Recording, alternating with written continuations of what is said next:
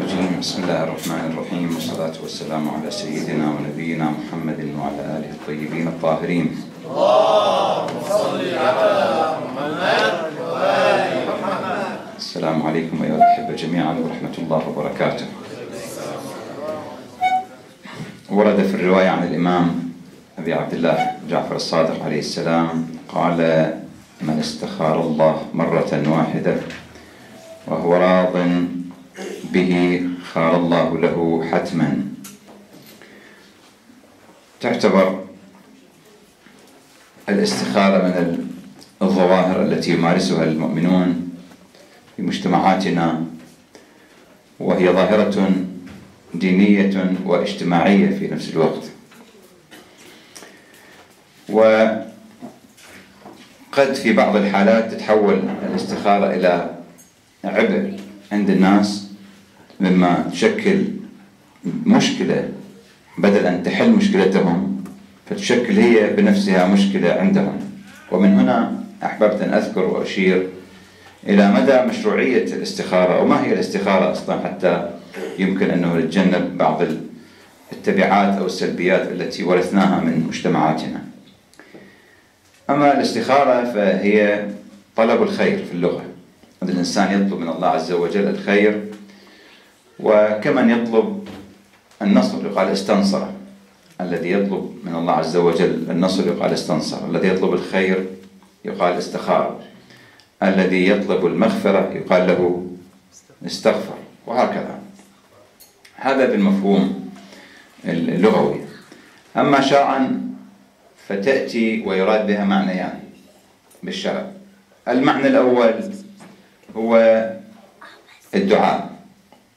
عند الإنسان يدعو يطلب من الله عز وجل أن يختار له الأصلح فيما يريد. أن يطلب من الله الدعاء يعني. مثلا الذي يشتغل شغل يطلب من الله عز وجل أنه يا ربي أنت اختر لي يعني يدعوه أنه شغل مريح كذا يتزوج نفس الشيء يطلب من الله عز وجل. وإذا ورد في النصوص أنه يستحب يستحب الخير أو الاستخارة في الزواج فليس ما يفعله الناس. هذا من أكبر الاشتباهات لعله التي تعالى يعني الناس لا يعرفون أنه ليست هذا الاستخارة. الاستخارة هو طلب الخير والدعاء. يستحب الإنسان قبل الزواج أن يستخير. مو أن تلفل للشيخ أو السيد يقول والله خذ استخارة شوف هاي صحيح الزواج منيح ولا مش منيح؟ لا ليس هذا المعنى أبدا. وإنما المطلوب بالاستخارة هو أن الله يدعو. عندنا دعاء. الصحيفة السجادية تفتحوها الآن تشوفون من حدث من دعاء في الاستخارة. يدعو الله عز وجل. هذا الدعاء يدعو الإنسان بعد أن يقرر. خلاص الأمر يعني منتهي. ولكن يطلب من الله عز وجل يدعو له بأن يعني يختار له الشيء الأصلح له فيما يقدم عليه من سفر أو عمل أو غير ذلك. طبعا دون وسيلة. هذا هو المعنى الأول لها. وإذا ورد في نص أنه يستحب فهو هذا. هذا اللي يستحب أما المعنى الثاني وهو أن يلجأ الإنسان إلى الطلب الخير ما يسمى بالقرعة عبر وسيلة. يعني سبحة عندنا مثلا عندنا قرآن بالمصحف عندنا رقاع في بعض الاستخارات موجودة في الروايات طبعا كثيرة موجودة. في عندنا رقاع يعني قطع, قطع ورق. ياخذ الإنسان ست أوراق من ستة يكتب افعل لا تفعل يخليهم تحت مثلا بالفراشي أو تحت المصلاية تبعه ثم يسحب يسحبهم. موجود مذكوره في الكتب يعني. ويشوف يطلع مثل أكثر افعل أكثر لا تفعل إلى آخره فيعمل بها. هذه اللي هي بالسبحة أو بالقرعة أو بالرقاع هذه ما هو وضعها يعني. التي يعني بالقرآن طبعا نفس الشيء بالمصحف يعني. هذه ما هو وضعها. هناك روايات سأشير إلى بعضها يعني. الاستخارة التي أمرنا بها الأولى لا إشكال فيها. بل هناك استحباب كما يذكر السيد الزلزواري رحمة الله عليه أحد المراجع النجف يقول في بعض كتبه الاستخارة طلب هي الطلب من الله عز وجل أن يوفقه ويرشده إلى خير الأشياء وأحسنها. وهي مستحبة في جميع الأشياء. هكذا يقول. لماذا؟ يعلل. يقول أول شيء لأنها دعاء ومسألة من الله عز وجل. الدعاء شيء جيد دائما. ثانيا إيكال الأمر إلى علمه ومشيئته. هاي الاختيار الاستخارة عن الأول. إيكال الأمر إلى علم الله ومشيئته لماذا؟ لأنه نحن لا نعلم شيء صح؟ إنما نعلم بالله صح؟ إنما نعمل بالله أيضا لو ما الله ما أعطانا قدرة لا نعمل شيء فهي حالة من التسليم لله عز وجل كما سبق ثلاثة إظهار العبودية ذل العبودية لدى حضرة المعبود ومن أوضح صور العبودية أن الإنسان يخضع لرأي الله عز وجل الله الإنسان ما عنده رأي مقابل الله. الله يقول له صلي يقول له نعم. سلمت. الله يقول له صم. حتى لو كنت مثلا آه، يعني صعب النهار طويل طبعا لم يكن له عذر ومريض يصوم. لا يقول أنا رأي وهكذا بقية الأحكام. حينما يقول أنا رأيي هذا يعني صار عنده ماذا؟ صار مثل إبليس. إبليس هكذا. إبليس مشكلته الوحيدة لعله التي أسقطته هو التكبر. تكبر على الله عز وجل. الله قال له اسجد وقل لا ما أسجد. ما أسجد. فإذا حمل الإنسان روح إبليس يعني انتهى. هذه النقطة الثالثة. والنقطة الرابعة تسليم الأمور إلى الواحد القهار. تسليم الأمر وهذا هو معنى معاني الإسلام. يسلم الإنسان. وليس أخو الإسلام من لم يسلم. أنه مسلم وما يسلم من الله يعني شو شو الإسلام هذا. ما يسلم. الله يقول له كذا ولا يخالف. ثم يقول رحمه الله عليه هذا الرجل الكبير المرجع يقول هي توحيد فعلي. هذا معنى التوحيد. أن الإنسان يكل أمره إلى الله عز وجل يكون لا رأي له أمام الله عز وجل يشعر بذل العبودية لله عز وجل. وهذه المعاني كلها يقول إظهار توحيد فعلي وإظهار عملي لخلاصة التوحيد وهو قولهم عليهم السلام لا جبر ولا تفويض بل أمر بين أمرين.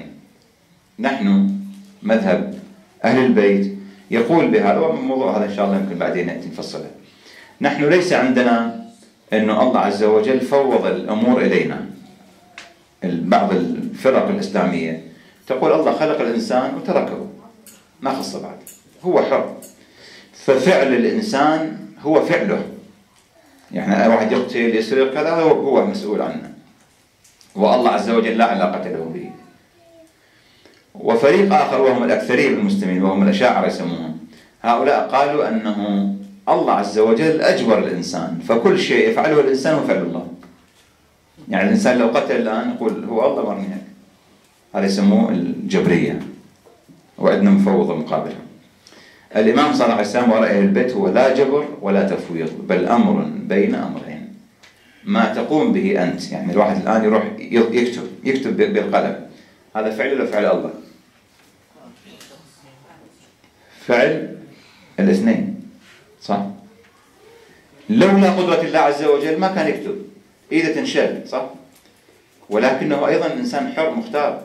الله ما جبر أن يكتب. ما جبره أن يكتب هو فيه أن يكتب فيه لا يكتب. فهذا الفعل الذي يقوم به الإنسان هو فعل الله وفعل الإنسان. يعني هناك طرفين في المعادلة. فلا يقال أنه هذا فعل الله فإذا الله كتب علينا أنه نفعل هذا الشيء. مكتوب علينا. الظلم هذا منطق الظلمة الآن. منطق الأشاعرة يبرر لكل الظلمة. يزيد لما دخل عليه الإمام زين العابدين عليه السلام قال من أنت؟ قال أنا علي. مذكورة في السير كتب السير. قال ألم يقتل الله أخاك؟ لاحظوا. ألم يقتل الله أخاك؟ من علي الأكبر سلام الله عليه. قال كان لي أخ اسمه علي قتله الناس.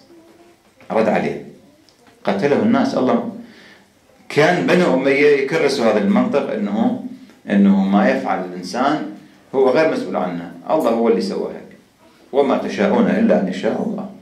وبهذه الطريقة طبعا هذا بحث طويل يعني ولعله إن شاء الله يوم من الأيام نطرقه زين. فإذا هذا هذا المعنى الاستخارة من الجانب الأول اللي هو دعاء تجسيد للتوحيد العملي. يعني الإنسان في كل أموره يتكل على الله عز وجل يستشيره أفضل مما أنه يقول أنا لا أنا عندي مثل ما بعض الناس الآن تعرفون الاستخارة على يعني الناس على أقسام. في قسم من الناس كل شيء استخارة. كل شيء بده يطلع ياكل هالاكله استخارة. يطلع من البيت استخارة.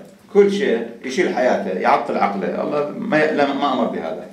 وفي ناس لا لا يفعل اطلاقا استخارة في حياته ابدا. هذا غير جيد. لكن أي استخارة؟ مو هاي من القرآن والمسبحه بس أبين. يستخير الله يعني يدعو الله. قبل ما يتزوج يدعو الله عز وجل. كيف يدعو؟ إما دعاء إما في أدنى ركعتين. يصليهم الإنسان يقول أستخير الله خيرة في عافية مئة مرة. وهناك طرق أخرى. هذا اللي يفعل دائما بأموره هكذا يدعو يعني هذا معناته إنسان عنده اتكال على الله عز وجل ومن جهة أخرى هو يفعل اللي واجب اللي عليه. حل الاستخارة هذه الأولى أو الثانية مشروعان مشروعتان بالشريعة. طبعا الأولى هي هو هذا يعني القاعدة هكذا. قاعدة الإنسان يكون معتمد على ربه مو على نفسه. فلا فلا إشكال فيها أصلا. ولا تحتاج إلى دليل. واحد يقول لك أنت ليش تستخير؟ قل له الله أمرني بالدعاء. وقال ربكم ادعوني أستجب. هذا دعاء. والقرآن إطلاقات الآيات واضحة. والنصوص. ولكن في في المعنى الثاني للاستخارة الذي هو كما ذكرت باستخدام الوسيلة يعني تجيب سبحة تجيب مصحف تجيب كذا تجيب أوراق تسوي. هذا سأبين. عندنا في النصوص عن النبي صلى الله عليه وسلم قال إذا هممت بأمر فاستخر ربك فيه سبع مرات ثم انظر إلى الذي يسبق إلى قلبك فإن الخير فيه. وقال الإمام صادق عليه السلام إذا عرضت لأحدكم حاجة فليستشر الله ربه فإن أشار عليه اتبع وإن لم يشر عليه توقف. قال له الراوي سيدي كيف أعلم ذلك؟ أستشير الله كيف؟ قال يسجد. عقيب المكتوبة يعني بعد صلاة الواجبة يسجد. ويقول اللهم خر لي. ثم يتوسل بنا ويصلي علينا ويستشفع بنا. ثم تنظر ما يلهمك تفعله. يأتي في يعني اللي يأتي في ذهنك في في قلبك تفعله. فهو الذي أشار عليك به. وتشير بعض الروايات إلى أن هناك صلاة خاصة للاستخارة مذكورة في الكتب أيضا. في الحديث عن جابر الأنصاري رضي الله عليه قال كان رسول الله يعلمنا الاستخارة في الأمور كلها كما يعلمنا السورة من القرآن. في كل شيء يعلمنا أن نستخير أن نتكل على الله عز وجل.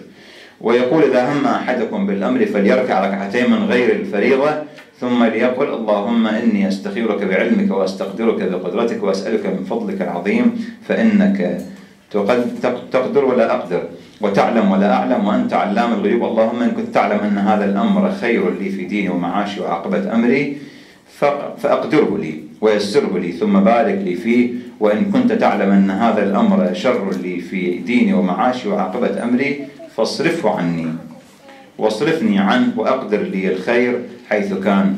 ثم رضني به ويسمي حاجته يذكر حاجته. هذه كتب يعني نصوص كثيرة طبعا. وعن الإمام الصادق عليه السلام قال إذا أراد أحدكم شيئا فليصلي ركعتين ثم ليحمد الله عز وجل ويثني عليه ويصلي على محمد وآله الطاهرين. صلى الله عليه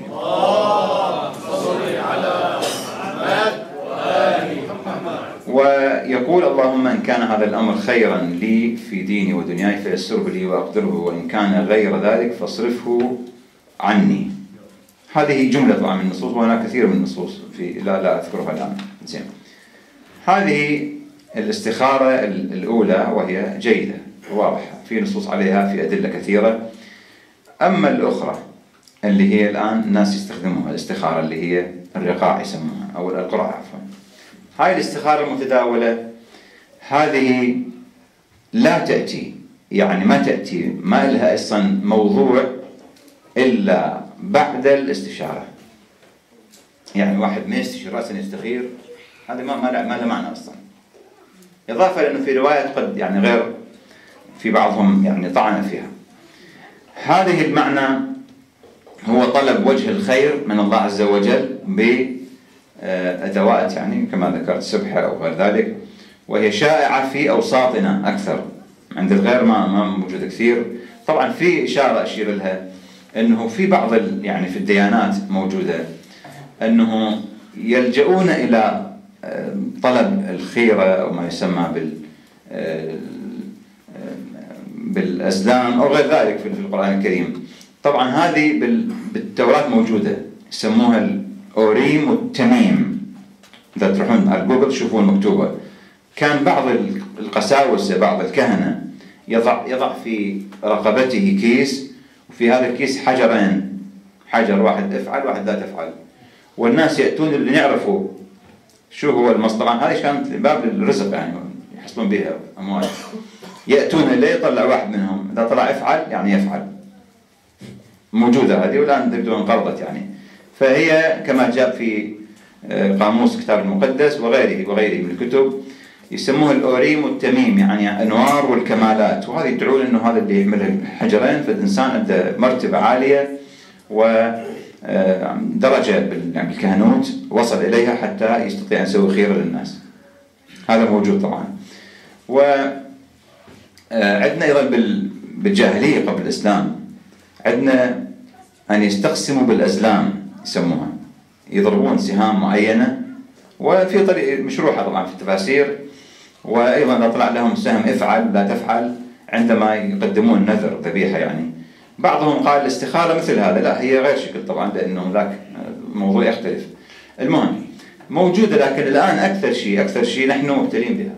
أكثر الناس يمكن نحن ما شايف واحد أمريكي يسوي استخارة شايفين؟ ما في. فهذه مشكلة حقيقة مشكلة. لماذا؟ لأنه عدم فهم الموضوع. واحد يعني أنا قرأت كثير وحالات تأتي إلي. في ناس خسروا خسروا زواجهم من وراء الاستخارة. إنه كل شيء مهيئ له مرتب بس أخذ استخاره راح مش منيحه فخلص. طبعا البنت أو هو. واحد يقول أنا اخترت وحدة وأنا سألت عنها وكل شيء وهي سألت عني وأخبرتها بوضعي كله. وما في مشكلة. قالت أستخير. فاستخارت طلعت مش منيحة. الخيره يقول ف أنا قلت أوكي خلص بعد خمس أيام تلفنت لي. بدي أغير رأيي قلت خلص بعد. المرة اللي تمشي على هيك عقلية ما بدي إياها. حقيقة يعني هو طبعا لازم يسامح هسه لأنه واحد يغلط وما تعرف قد يكون. ففي أمور تخرب يعني بيوت انخربت من وراء هاي الشغلة. ما نقول وراء الاستخارة من وراء الفهم الخاطئ لها مش الاستخارة. ف عندنا طبعا آه هذه الاستخارة المتداولة نحن من منذ فترة طويلة يعني عندنا هذه صارت متوالد يعني ما أدري كم بالضبط فترة لكنه درجنا عليها. من أي أي سنة بالضبط لا ندري. هناك كتاب كتب قبل 700 سنة لابن طاووس وهذا الكتاب طبعا مشهور يعني في الاستخارة. وبعد أيضا كتبت بعض الكتابات في جماعة روايات الاستخارة وبيان مشروعيتها طبعا.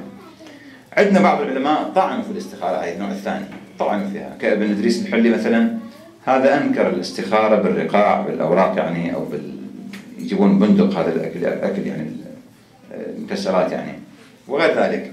فأنكرها وقال أن رواياتها من أضعف روايات أخبار الآحاد. يعني هي روايات غير معترف بها. وقال بأن رواتها من الفطحية فرقة من الفرق المنحرفة ومن العلوم وغيرها من العلماء أيضا. قلنا الناس مقارب يعني إزاء الاستخارة هم أنواع القسم الأول الذين يفرطون بالاستخارة لا يستخدم عقله إطلاقا وأخذوا القضية من من بيئة يعني عن تقليد. شاف أهله شاف بيئته شاف كذا فهو تعلم مثلهم. وقسم آخر مفرطون يرون بأنه عقولهم قادرة على أن تكشف الأمور كلها. ما عنده حاجة إلى الغيب أبدا. ومؤمنين يعني. لكن نقول أنا عقلي أفكر به وأشوف الأمور. هذا أيضا كما ذكرنا بالمعنى الأول الاستخارة غير صحيح. الإنسان لابد له من أن يرجع إلى الله عز وجل. وقسم معتدلين يعني. زين. يعني بين هؤلاء وبين هؤلاء. عندنا إذا قلنا هل مستحب الاستخارة؟ طبعا بعض هي ثانية. بعض العلماء صرح كما ورد في صلاة النجاة ذهب إلى أنه الاستخارة غير مستحبة هذه ثانية وإذا جاء به الإنسان يأتي بها رجاء يعني روايتها مو كما ذكرت يعني روايتها من غير معتبرة فيأتي بها رجاء على رجاء أنهم واردة هذه الروايات فيها فيأخذ بها هذه بالنسبة له وبعضهم قال باستحبابها ك كصاحب الحدائق المعروف البحراني. من ناحية العقل الواحد لو يسأل قضية أترك الشرع الآن من ناحية عقلية الآن واحد يحلل الأمور. طيب ما هو موقف الإنسان العقل من هذا الموضوع؟ إنه واحد يعرف خيرة كل شغلة زايدة كبيرة صغيرة. المشكلة نحن ديننا أمر الإنسان بأن دائما يحلل الأمور ويفكر بالأمور ويدرس الأمور وهناك كثير من من النصوص يعني. ما جعل الأمور هكذا بهالطريقة يعني واحد يعجبه والله شو هالأكلة هاي ولا ذيك الأكلة ياخذ استخارة. لا مو هيك الأمور. هو يعجبه كل ما يعجبه واحد يعجبه الأكل ما دام أنه حلال وما ضر يأكلها ولذلك نحن من انطلاقا إذا قلنا إنه الرواية ثابتة إذا ما في روايات خلاص انتهت القضية. وكما ذكرت علماء في حكي وما ما ليس محل كلامنا الآن. بالنسبة للنوع الأول منتهي من عنده. شيء جيد وراجح والإنسان يدعو الله عز وجل في كل أموره في الزواج وغير الزواج. الكلام في الثاني اللي هو هذا اللي تاخذ بالقرآن تتفائل بالقرآن أو بالسبحة أو غير ذلك أو تشيل بعض الأوراق إلى آخره. هذا فيه كلام. إذا كان ثابت والإنسان يأخذ به ولكن كما ذكرت بشرط أو بشروط من الشروط؟ أول شيء عندنا من المعروف أنه الخيرة عند الحيرة. أن واحد بعد ما تسكر الأبواب بوجهه العقل الإنساني ما بده يظل متحير. لما الواحد الحين يصل لطريق مسدود ما بده متحير بده بده حل. طيب نيت بالحل؟ أحيانا يحتاج الإنسان إلى يرجع إلى الروح النفس ترجع إلى مكانها الأول. ترجع إلى عالم الغيب. وتريد تريد جواب. ما في تظل هكذا مرددة. فأول شيء أنه الإنسان يختار أو يسوي استخارة عند الحيرة عندما يكون في في حيرة متردد. مثلا كمثال واحد عند الآن ما يدري إنه يشتري هذا البيت أو هذا البيت واثنيناتهم نفس الشيء نفس المواصفات لكنه ما يدري. زين؟ قد يكون هذا فيه مشاكل لا يعرفها. بعد أن يسأل. إذا تحير الإنسان فيقدم على الاستخارة فلا بأس به. الشيء الآخر الاستخارة ليست بديل عن التفكير. فالإنسان لابد له في كل أمر أن يدرس الأمور. يفكر بها يدرس بها يسأل الناس يستفسر. فإذا وقع في المحذور لا يلوم الاستخارة. إذا درس الأمر وقال أنه بعدين ما ضبط معي حتى لا يلوم الاستخارة ويقول أنه أنا كذا. أيضا الإنسان لابد له أنه يعرف أنه لا خير في أحكام الله عز وجل. لا يحق الإنسان يخير بالأشياء الحرام والواجبات والحلال كذا ما في. مثلا أصلي ولا ما أصلي مثلا. أصوم رمضان ولا ما أصوم؟ صوم ما في ما في اسكيب يعني. لابد أن تصوم. إلا أن يكون مثلا مريض. زين هذا معذور. وهكذا. في الأحكام وفي الموضوعات أيضا. ما يصير. كيف الموضوعات؟ مثلا بكرة اول رمضان ولا بعد بكرة؟ هناخذ استخارة. هذا ما يحتاج إلى استخارة. يحتاج لأنه تشوف الرؤيه الهلال تشوف ثبت هلال الصوم. ما ثبت خلاص. هذه موضوعات يسموها ففي الأحكام الشرعية لا استخارة. في الموضوعات لا استخارة. أشوف ثوبين واحد نجس واحد مثلا طاهر بالبيت. وما أدري أيهما النجس وأيهما الطاهر. آخذ استخارة. وما يصير. هذا لا لا يقبل. أيضا بعض الناس يأخذ استخارة للتنبؤ يعني. مثلا يقول والله خذ استخارة خير بدي أشوف شو مستقبلي أنا. يعني تقريبا مثل قراءة الكيف وكذا بس هو يخطئون الناس يعني ما يدرون هذه الشغلات. بدي أشوف ناجح بالامتحان ولا لا. في بعض النساء أو كذا بعض الطالبات يعني ويمكن طلاب أيضا. بدي أشوف ناجح بالامتحان ولا مش مش ناجح. هذا شو خاصة؟ ينتظر الإنسان ويشوف. فهي ليست بديل عن يعني الإنسان يروح يشوف. مثل مرة تأخذ استخارة والله أنا بدي أشوف صبي ولا بنت. ما بدها تروح تسوي سونار. ما في. هذه الشغلات يعني الإنسان يفكر بها بعقله. الشيء الآخر اللي حقيقة هو يبعث على ما الضحك أو الأسى انه في ناس بده الاستخارة مش ما يعجبه هو. مثلا عاجبه هو هاي الشغلة بده يشتريها فقال لي طلع الخيرة منيحة ياخذ خير يطلع مش منيح يرجع يعيدها مرة ثانية. هذا استخفاف بالاستخارة.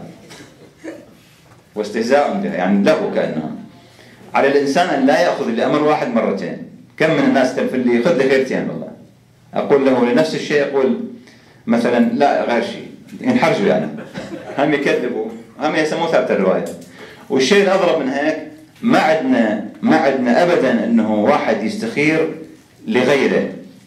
إنه واحد يأخذ استخاره لغيره. الاستخارة هو نفسه يأخذ الإنسان. عندنا روايات مثل موجودة لكن بعضهم يضعفها. علماء كبار يضعفوها. إنه واحد يأخذ بالقرآن وهو لغيره.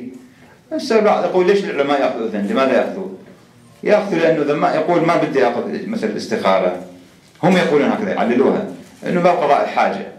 إنه هذا مسكين ما يعرف الأمور كذا فيحب إنه يعني تقضي حاجته من هذا الباب. وإلا ما حد الاستخارة. الأصل فيها أن الإنسان نفسه هو يستخير. هو نفسه عنده شيء يتوجه إلى الله عز وجل يصلي ركعتين ويقول أستخير الله مئة مرة وهو ساجد مثلا خيرة في عافية ويتكل يعزم على الله. فإذا عزمت فتوكل بعد أن يدرس الأمور بعد ما يفكر الأمور. هذا الأصل فيها. أما يكلف واحد ثاني وكالة صحيح من باب الوكالة يجوز واحد يوكل إنسان في الأخير خير وكالة كما توكل واحد يشتري عنك بضاعة. لكنه الروايات يمكن كما ضعفها بعض العلماء أنه لا تساعد على هذا واحد هو نفسه يأخذ لنفسه. زين.